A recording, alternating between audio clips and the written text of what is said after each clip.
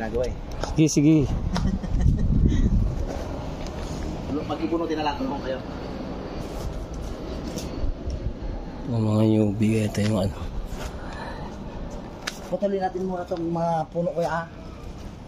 So, Oo, sige. hindi na bigat to eh. Nay, gulungan mo lang.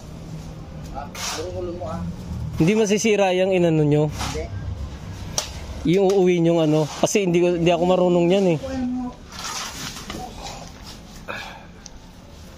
Pero kung ano, malaman ko lang yan. Yan. Oy, tatanim pa yun, di ba? Pwede pa.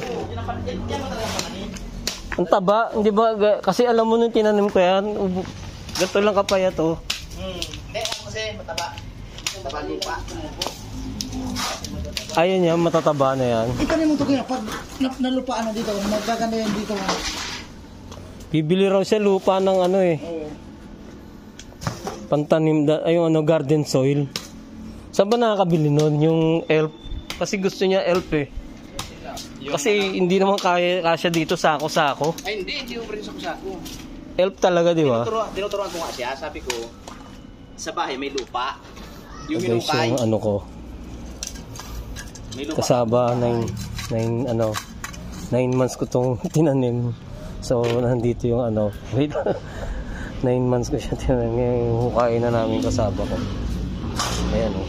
sobrang, ano, sobrang daming ugat. Nine months lang yan. Ang taba ng ano niya. Teka, Oh, kuya, kuya. yung katawan niya. Look guys, yung taba ng katawan niya. Ayan o. Bumubuhay pa rin ito eh pag tinanim. So, ayan na siya. Ayan na siya.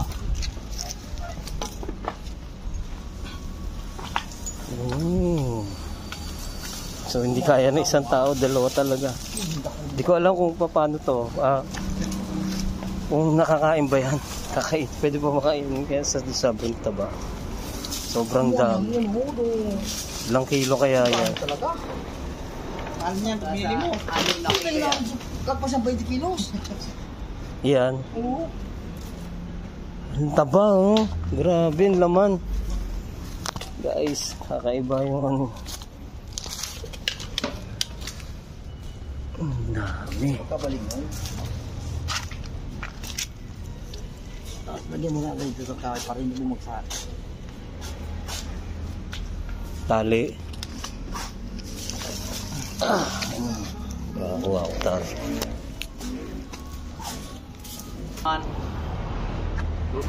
Lulupakin. Ito, ito. Yusuman yan. Lupak, sarap yan. Grabe yung katawan nyo. Oh. Ang laki. na eh. Puno talaga siya, no? ito, ito, ito, alam mo ito, yung tatlo na yan. Hmm. Ganyan lang yan, oh. May video ko nito eh. Ganito lang, gadaliri lang. Akala ko nga mamamatay pa eh. Nataba talaga yan. Nabuhay din. Lalaki ng gusto. Lalo ito oh. Pag isang Kaya hihilahin din natin. Bibidyo ko lang.